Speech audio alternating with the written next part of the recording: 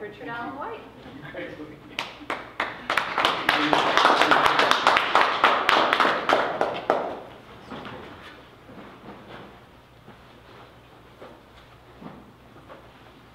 Hi, Yep, we I are. I am Richard Allen White, and these are chapters from my novel called Swords, Sorcery, and Psychopathy. Um, I sing the song The World's Gone Wrong, and I sing of death and the maiden.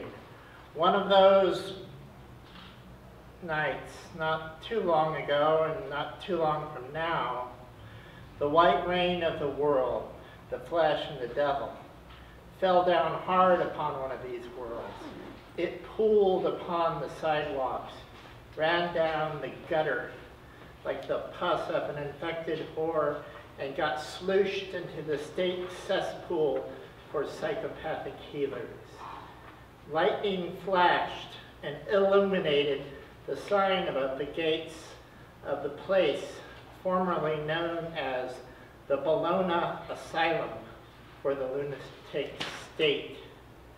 It wasn't called that anymore, for this is a word and a song of songs, a world gone, wherein I met with death and the maiden.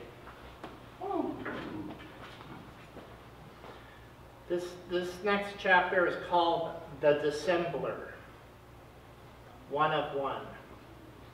I won the prize for the best person impersonating a person impersonating a non-person.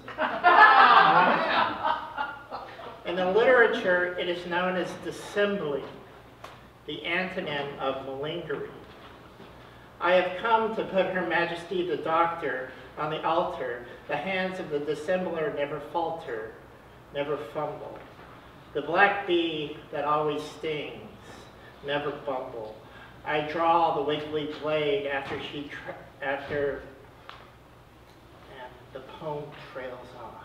Wow. Censored. I have a sensor on my shoulder. I know it doesn't seem right.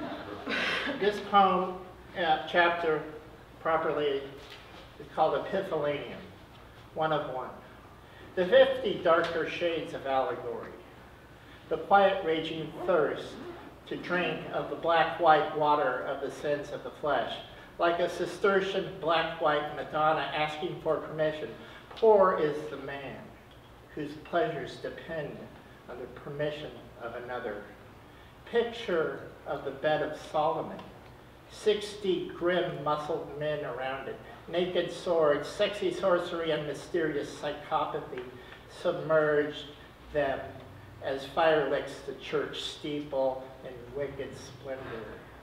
Fifty darker shades of lovers gone to pierce the veil.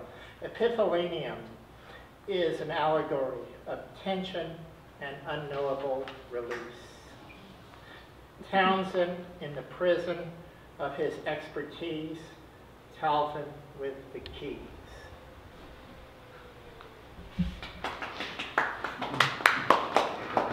I like the silence better.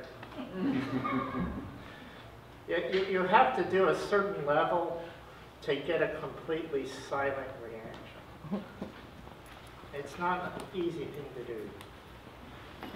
But let's see if I can do it.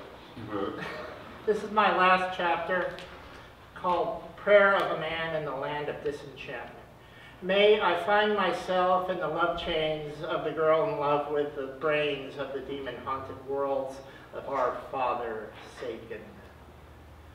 Father of all other low-born visions of autosuggestion and uncouth chicken-fried urban legend, may I remember the technical ecstasy of the gifts of the dream while my dreaming skull forgets the sinister messengers that arrive on the flaming hooves of Zephyrus nightmares.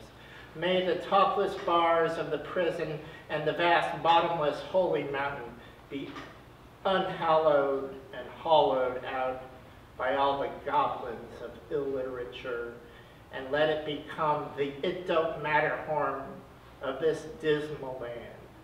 Let me wrap it up in a razor ribbon fence and let the land of the brave and free,